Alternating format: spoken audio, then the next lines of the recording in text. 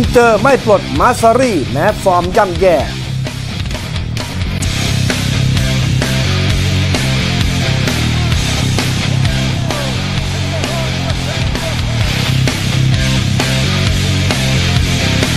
แมนนิงสุดยอดขว้างทุบสถิติ ทัชดาวน์สูงสุด NFL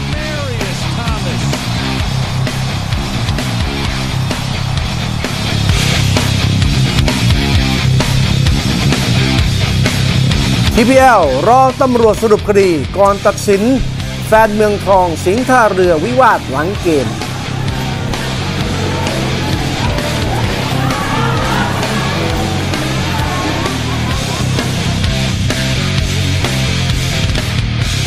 สวัสดีครับ สวัสดีครับ พบกับรายการ Sport Today นะครับ ครับผม วันนี้วันจันทร์วันแรกของสัปดาห์ก็มีเรื่องราวต่างๆ มากมายทั้ง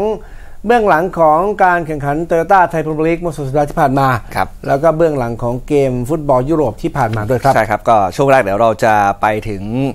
อ่าเบื้องหลังเกมเกาโชสไลอิตาลีนัดสำคัญเมื่อคืนนี้ที่ว่าจะเป็นการเดิมพันเก้าอี้กุนซือของทั้งฝั่งอินเตอร์มิลานแล้วก็นาโปลีสุดท้าย ผลจบลงด้วยผลเสมอนะครับ เราไปติดตามหลังเกมคู่นี้กันในช่วงของฟุตบอลทูเดย์ครับ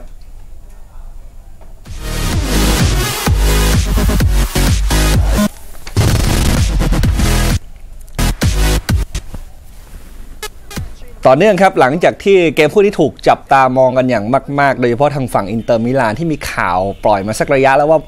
นัดนี้เนี่ยจะเป็นการวัดถึงฝีมือของวอลเตอร์มาซซารีว่าดีพอจะคุมทีมต่อไปหรือไม่นะครับแล้วก็ถ้าหากว่าไม่ชนะเนี่ยอาจจะถูกปลดด้วยซ้ำไป แต่ว่าตอนนี้อินเตอร์มิลานครับออกมาสยบข่าวลือเรื่องการปลดมาซซารีแล้วหลังจากเกมเมื่อคืนนี้เสมอกับนาโปลีไป2ต่อ2ที่บ้านของตัวเองแม้ว่าผู้อำนวยการาทางด้านของปิเอโรออซิลิโอจะ นั่งแถลงข่าวแทนกุนซือก็ตามนะครับ โดยที่ออซิลิโอผู้อำนวยการสโมสรอินเตอร์มิลานให้สัมภาษณ์แทนมาซซารีหลังนัดเมื่อคืนนี้ก็ทำให้นักข่าวยิ่งสงสัยเข้าไปใหญ่แล้วว่าการที่มาซซารีไม่มานั่งสัมภาษณ์หลังจบเกมเนี่ยอาจจะเป็นเพราะถูกปลดก็ได้ครับ แต่ว่าเกมนี้ก็ถือว่าเป็นเกมพิเศษด้วยนะครับ ซึ่งมาซซารีต้องคุมอินเตอร์เล่นกับนาโปลีซึ่งเป็นทีมเก่าของเขาที่เคยสร้างชื่อนำทีมประสบความสำเร็จมาก่อนหน้า ออซิลิโอบอกว่าวอลเตอร์มาซซารีรู้สึกผิดหวัง แล้วก็เหนื่อยเกินกว่าจะออกมาให้สัมภาษณ์ได้ ซึ่งในอิตาลีเนี่ยมักมีข่าวลือแบบนี้เสมอว่าสโมสรจะทำการปลดผู้จัดการทีมทันทีหากว่าทีมแพ้ 3 นัดนะครับ แต่ว่าอินเตอร์ในเวลานี้ไม่เป็นอย่างนั้นแน่นอนนะครับ ทั้งสโมสรแล้วก็ประธานสโมสร มีความหนักแน่นพอและนักเตะก็ถือว่าเล่นได้ดี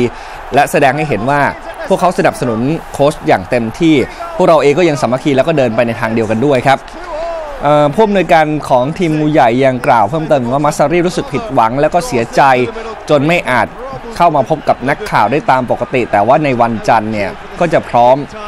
กลับมาคุมลูกทีมฝึกซ้อมตามปกติครับ ส่วนผลงานของทีมในเวลานี้ออสเตรเลียบอกว่าก็เล่นได้ดีครับ ในเกมเสมอ 2-2 กับนาโปลีเนี่ยไม่ว่าจะเป็นการมองมุมไหนก็ถือว่ายอดเยี่ยม ในครึ่งแรกอินเตอร์เล่นเต็มที่แล้วเหนือกว่านาโปลีด้วย แล้วก็น่าจะได้ประตู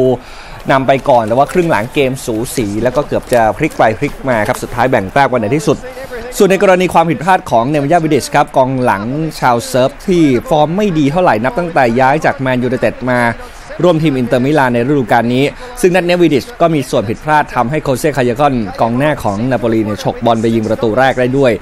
ซึ่งเรื่องนี้ผู้อำนวยการอินเตอร์บอกว่าเป็นความผิดพลาดก็จริง แต่ว่าคนอื่นในทีมก็น่าจะช่วยกันเคลียร์บอลได้ พวกเราก็เชื่อมั่นในตัวนักเตะระดับแชมป์นะครับ ในขณะที่ผู้เล่นอย่างจอห์นโอบีก็ก็ถือว่าเล่นดีครับ ก่อนที่จะต้องออกไปเนื่องจากเป็นตะคริวที่กล้ามเนื้อ พวกเขาเองก็มีการส่งเอ็มไบเนียงลงไปเล่นแทน แล้วก็เกือบจะช่วยทีมส่งเอ็มบาเย่นะครับลงไปเล่นแทนแล้วก็เกือบจะช่วยทีมได้ประตูชัยด้วย ตอนนี้ ทีมอินเตอร์ก็มีปัญหาในเรื่องของตัวผู้เล่นที่กลับมาจากการไปเตะเกมทีมชาติ ไม่ว่าจะเป็นโค v า c ิชกับทีมชาติโครเอเชียครับ ทางแกรี่เมเดลกับทีมชาติอิตอ่าทีมชาติชิลี ซึ่งนักเตะเหล่านี้ผ่านการทดสอบความฟิตบุดวิดแล้วก็สภาพร่างกายน่าจะสมบูรณ์กว่านี้ ก็คงจะเป็นประโยชน์กับทีมมากขึ้นด้วย ส่วนทางฝั่งของทีมนาโปลีครับกุนซือก็คือราฟาเอลเบนิเตส พูดถึงเกมเสมอกับอินเตอร์ ซึ่งก็อินเตอร์เองก็เป็นทีมเก่าของราฟาที่เคยคุมทีมอยู่พักหนึ่งเหมือนกันนะครับเจ้าตัวบอกว่ารู้สึกพอใจกับผลงานของนาโปลีครับโดยเฉพาะในช่วงครึ่งเวลาหลังที่อุตส่าห์เป็นฝ่ายได้ประตูออกนำไปก่อนถึง 2 ครั้ง 2 คราวจากคาเยคอน แต่ก็น่าเสียดาย ถูกทั้งเฟรดดี้กวาริน แล้วก็เอร์นาเนสยิงประตูตีเสมอคืนได้อย่างรวดเร็วเช่นเดียวกัน สำหรับปัญหาในเรื่องของฟอร์มการยิงประตูของกองหน้าตัวหลักอย่างกอนซาโลอีกัวอิน ที่ยังไม่สามารถยิงได้เลยในเซเรียอานับตั้งแต่เปิดซีซั่นนี้ครับเบนิเตสก็ยังมีความเชื่อมั่นว่านักเตะอย่างอีกัวอิน ซึ่งเคยยิงประตูมาแล้วมากมายในทุกรายการยังคงเป็นผู้เล่นคนสำคัญของทีมต่อไป แล้วก็เชื่อว่าในอีกไม่นานครับอีกัวอินจะกลับมายิงประตูได้อย่างเป็นกอบเป็นกำอีกครั้งอย่างแน่นอน ส่วนทางฝั่งมาเรกฮัมซิก ซึ่งโดนเปลี่ยนตัวออกก็เป็นเพราะว่าอินเตอร์นั้นมีเกมรับที่ดีและปิดพื้นที่การเคลื่อนไหวของฮัมซิกจนหมดเลยเบนิเตสบอกว่าฮัมซิกไม่สามารถหาทางเคลื่อนที่ได้นะครับ แต่ว่าการหาพื้นที่ในเกมนี้ก็เป็นไปเป็นได้อย่างยากลำบากเนื่องจากว่าอินเตอร์ใช้กองหลัง 3 คน แต่ทางฮัมซิกเองก็สามารถช่วยเกมรับและรุกของทีมได้เป็นอย่างดีแล้วด้วย นี่ก็คือสถิติ ผลงานของอินเตอร์มิลานซึ่งปีนี้ดูไม่ค่อยดีเท่าไหร่นะครับ แล้วก็ไม่ชนะในลีกมา 2 นัดติดนี่ก่อนจะเบรกไปแพ้ฟิออเรนติน่าขาดลอย 0-3 แล้วก็เกมนี้กลับมาออกสตาร์ทอีกทีก็เสมอนาโปลี 2-2 แต่ว่าสโมสรยืนยันว่าจะยังไม่ปลดนะครับ ส่วนผลการแข่งขันเซเรียอาคู่อื่นเมื่อคืนนี้นะครับ ก็มีทางฟิออเรนติน่าครับแพ้ลาซิโอไป 0-2อัตแลนตาเฉือนชนะปาม่า 1-0 กายารีเสมอกับซามโดเรียไป 2-2 เฮลัสเวโรนาแพ้เอซิมิลาน1-3 ปาเลโมชนะเชเซนา2-1 โตริโนชนะอูดิเนเซ่1-0 ครับ ตารางคะแนนไปดูช่วงบนและช่วงล่างของตารางนะครับยูเวนตุสสัปดาห์นี้สะดุดนะครับเสมอกับทีมบ๊วยซัสโซโลมาก็ทำให้หยุดสถิติชนะ 100% 7 นัดมี 19 แต้ม ยังนำจากฝูงอยู่ อันดับ 2 เป็นโรม่า 18 แต้มนะครับ อันดับ 3 ซามโดเรีย 15 คะแนน อันดับ 4 เอซิมิลาน 14 แต้ม และอันดับ 5 อูดิเนเซ่ 13 คะแนน อินเตอร์ที่เตะไปเมื่อคืนนี้อยู่อันดับ 9 นะครับ มีอยู่ 9 คะแนน แล้วก็ในช่วงโซนล่างของตารางนะครับ ในพื้นที่สุดท้ายในปาม่าครับ อันดับ 20 ครับมี 3 แต้ม รองขึ้นมาซัสโซโล4แต้มคีเอโว4แต้มคีเอโวเปลี่ยนโค้ชเรียบร้อยแล้วด้วยนะครับ แล้วก็อันดับที่ 17กาญารี5แต้มอันดับ 16 ปาเลโม6แต้ม ก็คืนนี้มี Monday Night ให้ติดตามชมกันเช่นเคยนะครับ จะเป็นคู่ระหว่าง เจนัวพบกับเอมโปลีซึ่งเดี๋ยวเราจะมีพรีวิวมาฝากกันด้วย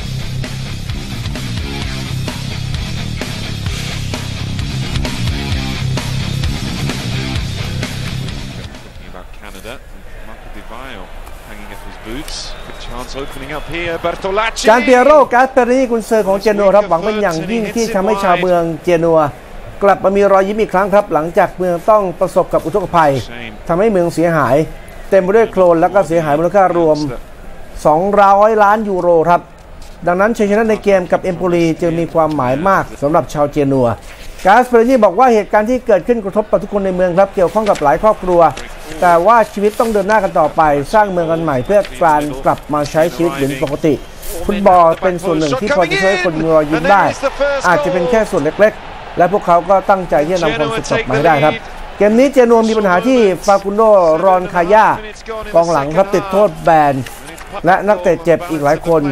ยอนิสเฟตฟัตซิดิสครับสเตฟานโนสตูราโรแล้วก็จูไรคุชกาส่วนเอมโปลี ทีมเยือนไม่แพ้มา 4 เกมติดแล้ว จะไม่มีแวงซองโลรินีฟูลแบ็กของทีมแต่เมาริซิโอซาร์รีครับมั่นใจว่าลูกทีมจะเล่นอย่างต่อเนื่อง แล้วก็เป็นปัจจัยที่ทำให้ทีมมีผลงานดีแบบที่ผ่านมา เขากล่าวว่าหลังจากที่ต่อสู้ให้ได้เลื่อนชั้นอยู่หลายปี การเอาชนะปาเลโม 3-0 เมื่อเกมที่แล้วทำให้พวกเขาตื่นเต้นมาก และจะทำให้พวกเขาเล่นกันอย่างมั่นใจมากขึ้น เล่นกันให้เต็มที่เล่นกันอย่างมีความสุข แล้วผลก็ออกมาดีเองครับ Quickly taken. Tavano just flicked the ball on. Laurini sprints past the substitute อ่า with จบ ease. จากความเคลื่อนไหวในฟุตบอลเดลี่ไปต่อกันที่ฟุตบอลลาลิก้าสเปนนะครับ อย่างฟอร์มของแอตเลติโกมาดริดนี่เมื่อวานนี้กลับมาออกสตาร์ทก็ถือว่าผลงานดีอีกครั้งครับ ทางดิเอโกซิเมโอเน่นำลูกทีมเก็บ 3 แต้มเลยต่อเนื่องไปดูเบื้องหลังของเกมนี้กันครับ โดยที่ดิเอโกซิเมโอเน่ครับโค้ชชาวอาร์เจนไตน์ของแอตเลติโกมาดริดก็พูดถึงว่าจริงๆ แล้วเขาอยากจะเห็นการยิงประตูขององตวนกริสมันครับนักเตะดาวรุ่งชาวฝรั่งเศสบ้างหลังจากที่กริสมันก็ถือว่าโชว์ฟอร์มได้ยอดเยี่ยมในนัดล่าสุดครับเมื่อวานนี้เกมที่ วิเซนเตกัลเดรอนซึ่งทีมตราหมีก็เอาชนะเอสปันยอลไปได้ 2-0 ซึ่งเมื่อคืนนี้ทีมแอตเลติโกมาดริดมาได้ 2 ประตูจากผู้เล่นตำแหน่งมิดฟิลด์ตัวรับทั้งนั้นเลยครับ จากเตียโกเมนเดส แล้วก็มาริโอซัวเรสแต่พูดถึงคนที่เล่นได้เด่นที่สุดนี่ซิเมโอเน่ ชอบฟอร์มของตัวกริสมัน ซึ่งถูกเปลี่ยนลงมาเล่นเป็นตัวสำรองในนาทีที่ 60 ครับ ซึ่งซิเมโอเน่เชื่อว่ากริสมันเป็นนักเตะที่มีความสามารถสูง แล้วก็สามารถช่วยทีมได้มากกว่านี้ด้วย โดยซิเมโอเน่บอกว่ากริสมันเล่นได้ดีมากครับ เป็นนักเตะที่มีทั้งความเร็วการเคลื่อนที่ก็มีอยู่ตลอดเวลาเป็นตัวเชื่อมเกมชั้นดีที่ทำให้เกิดความแตกต่างของเกมขึ้นมาได้ สร้างโอกาสให้เพื่อนร่วมทีมได้หลายครั้งหลายหนและแถมเมื่อคืนนี้ก็เกือบจะยิงประตูได้อีกด้วย ซึ่งถ้าหากว่าทีมได้ประตูจาก กริสมันอีกสักลูกหนึ่งก็คงจะเป็นเรื่องดีอย่างมากเลยทีเดียวครับ นอกจากนี้แล้วซิเมโอเน่ยังพูดถึงการเล่นของทีมโดยรวมว่าทั้งหมดนั้นขึ้นอยู่กับสถานการณ์ของเกม แล้วก็คู่แข่ง ว่าเล่นแบบไหนแต่ส่วนใหญ่แล้วแอตมาดริดก็จะเป็นฝ่ายครองบอลอยู่ที่ฝั่งของทีมคู่แข่งแล้วก็อดทนครับเพื่อที่จะรอโอกาสของตัวเอง ซึ่งปีนี้เนี่ยฝั่งของแอตเลติโกมาดริดมีทีเด็ดที่ลูกกลางอากาศนะครับ เป็นทีมที่ทำสถิติได้ประตูจากลูกโหม่งไปถึง 9 ลูกเข้าไปแล้ว ส่วนทางฝั่งเอสปันยอลของกุนซือ หน้าใหม่นะครับเซโกซันเชสก็เชื่อว่าความแตกต่างของทั้งสองทีมนี้ก็คือเรื่องของคุณภาพในการเล่นลูกตั้งเตะ ซึ่งทั้ง 2 ประตูที่ทีมแชมป์เก่ามาได้เมื่อคืนนี้ก็มาจากเตียโกเมนเดสแล้วก็มาริโอซัวเรสซึ่งจุดเกิดเหตุก็เริ่มมาจากการที่ทีมตราหมีได้ลูกตั้งเตะทั้งนั้นเลยนะครับ ซึ่งทางเซโกซันเชสก็บอกว่าจะต้องทำงานของตัวเองต่อไปครับ ส่วนเกมคู่อื่นๆเมื่อคืนนี้ มีเดปอร์ติโบลาคอลุญญาครับถล่มบาเลนเซีย 3-0 บาเลนเซียแพ้นัดแรกนะครับ เอลเช่แพ้เซบียาไป 0-2 และบียาร์เรอัลชนะอัลเมเรีย2-0 ตารางคะแนนตอนนี้ครับบาร์เซโลนาผ่านไป 8 นัดนำจากฝูงครับมีอยู่ 22 คะแนนและยังไม่เสียประตูแม้แต่ลูกเดียว รองจากฝูงเซบียาครับ 19 คะแนนอันดับ 3 เป็นเรอัลมาดริด 18 คะแนน 4 บาเลนเซียครับและ5แอตเลติโกมาดริดมี 17 คะแนนเท่ากันซีกล่างของตารางคะแนนครับในโซนตกชั้น อันดับ 20 คอร์โดบา4แต้ม 19 กับ 18 เป็นเอลเช่และเลบันเต้มี 5 คะแนนเท่ากัน ขยับขึ้นไปอันดับ 17 และ 16 ก็เป็นโซ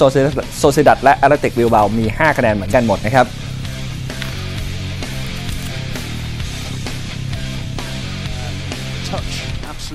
คืนนี้ลาลิก้ามีหนึ่งคู่ครับ ทางด้านโซเซียดัดก็มันมั่นใจว่าจะเก็บ 3 แต้มเหนือเกตาเฟ่นะครับดาบิดซูรูตูซ่ามิดฟิลด์ของโซเซียดัดย้ำว่าทีมเขาพร้อมนะครับที่จะเจอกับเคียร์เฟ่หลังจากที่แพ้ไป 4 จาก 7 เกมแรกของฤดูกาลครับและชนะเพียงนัดเดียว ในแบบเหนือความคาดหมายด้วยการชนะเรอัลมาดริดครับโซเซดัดได้มา 2 แต้มจาก 5 เกมหลังครับ ตอนนี้พวกเขามี 5 คะแนนอยู่ที่ 16 แต่ซูรุตุซ่ายังเชื่อว่าจะกลับมาทำได้ดีกว่า หลังจากที่ได้พักในช่วงของโปรแกรมทีมชาติครับ เขาบอกว่าช่วงที่ผ่านมา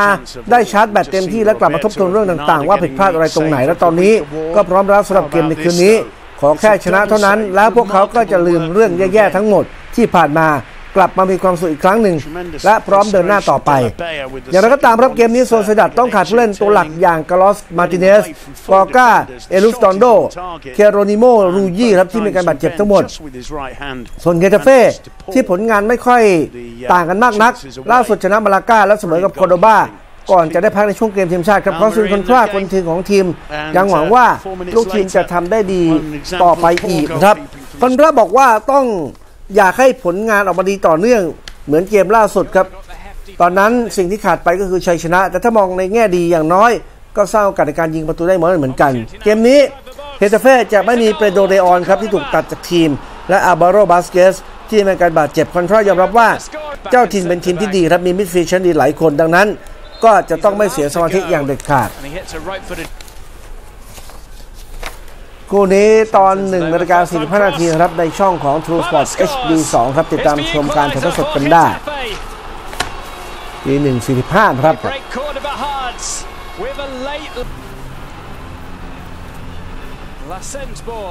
ไปดูความเคลื่อนไหวก่อนที่กลางสัปดาห์นี้ความน่าสนใจไปอยู่ที่ช่วยยูเอฟ่าแชมเปี้ยนลีกแต่ว่าเรอัลมาดริดมีข่าวร้ายก่อนในเกมที่จะไปเยือนลิเวอร์พูลที่แอนฟิลด์ในถ้วยแชมเปี้ยนลีกรอบแบ่งกลุ่มนะครับ ซึ่งแกเร็ธเบลมีการบาดเจ็บบริเวณสะโพก แล้วก็อาจจะพลาดลงสนามในเกมเล่นกับลิเวอร์พูลครับ แล้วก็รวมอาจจะรวมไปถึงเกมนัดสำคัญเอลคลาสิโกซึ่งจะมีขึ้นในช่วงสุดสัปดาห์นี้ด้วยครับ ซึ่งการเปิดเผยของสื่อในสเปน เมื่อช่วงเช้ามีการระบุว่าเบล ยังไม่พร้อมสำหรับเกมไปเยือนลิเวอร์พูลที่แอนฟิลด์ในวันพุธนี้นะครับ ส่วนในเกมพบกับเลบานเต้เมื่อช่วงวันเสาร์ที่ผ่านมาเนี่ยตัวแกเร็ธเบลก็มีชื่อสำรอง แล้วก็ไม่ได้ถูกเปลี่ยนลงสนามด้วยครับ เรื่องนี้อันเชลอตติก็บอกว่ายังไม่อยากเสี่ยงให้เบลลงเล่น โดยอาร์ตครับสื่อดังของสเปนระบุเพิ่มเติมว่าเบล ก็น่าจะพลาดทั้งเกมเจอลิเวอร์พูลรวมไปถึงเกมลีกเจอกับบาร์เซโลนาด้วยครับ ซึ่งก่อนหน้านี้ตัวของเบลเองก็ได้ลงเล่นให้กับทีมชาติเวลส์ไปทั้ง 2 เกม แล้วก็มีการเรียกความฟิตกลับมาช่วยทีมในฟุตบอลลีกไม่ทันเมื่อวันเสาร์ครับ นอกจากนี้ครับอาสยังยังเปิดเผยว่าการขาดแกเร็ธเบลทำให้เกมเจอกับลิเวอร์พูลของ อันเชลอตตินี่ก็จะต้องเปลี่ยนระบบจากปกติเล่นระบบ 4-3-3 ไปเล่นแบบ 4-4-2 โดยจะใช้อิสโก้ฮาเมสโรดริเกซลูกาโมดริชและโทนี่โครสยืนเป็นแผงมิดฟิลด์ส่วนกองหน้าจะใช้เป็นคาร์เรมเบนเซม่าจับคู่กับคริสเตียโนโรนัลโดครับอ่าครับติดตามกันได้ครับยูฟ่าแชมเปี้ยนส์ลีกคืนพรุ่งนี้ครับครับ และคืนวันพุธ เดี๋ยวช่วงต่อไปครับ เราไปติดตามสรุปข่าวฟุตบอลรอบโลกครับ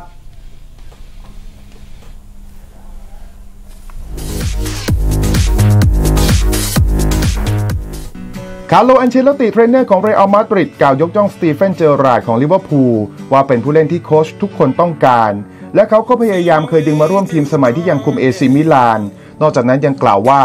ราฮิมสเตอร์ลิงเป็นนักเตะที่เรอัลมาดริดจะต้องระวังให้มากเป็นพิเศษในเกมยูฟาแชมเปี้ยนส์ลีกที่จะพบกันกลางสัปดาห์นี้ที่แอนฟิลด์ where to start. They tell me I'm too โจเซปมาเรียบาร์โตเมว ประธานสโมสรบาร์เซโลนามั่นใจว่าเป็นเรื่องที่ยากมาก หากใครจะทำลายสถิติการยิงประตูของลิโอเนลเมสซี่ได้ ตอนนี้เมสซี่ต้องการอีกประตูเดียวก็จะทำสถิติ 251 ประตู เท่ากับสถิติของเตลโมซาร่าที่ทำเอาไว้เมื่อ 60 ปีที่แล้ว และถ้ายิงได้มากกว่านั้น ในเกมพบกับเรอัลมาดริดวันเสาร์ที่ 15 ตุลาคมนี้ ก็จะเกิดสถิติใหม่ขึ้นทันที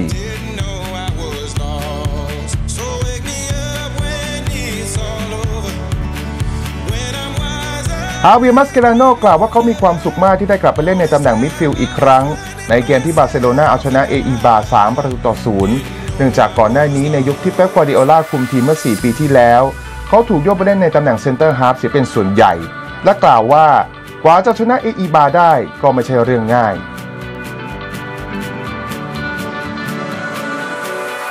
ฟิลิปโปอินซากิเทรนเนอร์ของเอซีมิลานยอมรับ เขาไม่มีความคิดว่าทีมจะขึ้นนำเวโรนาก่อนถึง 3 ประตูต่อศูนย์ก่อนที่จะชนะ 3 ต่อ 1 เมื่อวันอาทิตย์ที่ผ่านมา แต่เสียดายที่ทำคลีนชีตเป็นเกมที่ 2 ติดต่อกันไม่ได้ ทั้งนี้ขอกล่าวชื่นชมเคซุเกะฮอนดะที่ยิง 2 ประตูขึ้นนำเป็นดาวซันโวของเซเรียอา6ประตูเท่ากับคาร์ลอสเตเวสของยูเวนตุส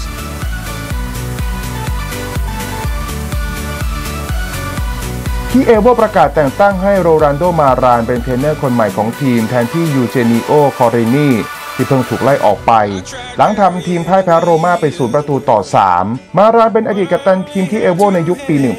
1980และกำลังว่างงานอยู่นับตั้งแต่ถูกคาตาเนียปลดเมื่อฤดูกาลที่แล้ว โดยจะมีการแถลงข่าวอย่างเป็นทางการในบ่ายวันอังคารนี้